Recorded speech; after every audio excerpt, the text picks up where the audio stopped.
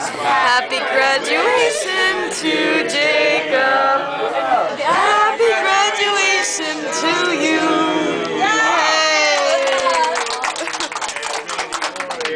Make a wish. One more graduation, hopefully.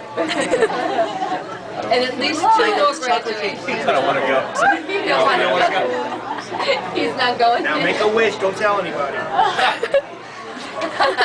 I hope, What do you want to be when you grow up? I know what you wish. I hope I graduate on Monday. No, I wish my mother would stop doing these things to me.